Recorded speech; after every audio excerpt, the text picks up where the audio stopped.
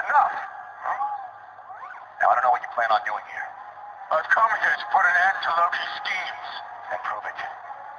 Put that hammer down. You want me to put the hammer down?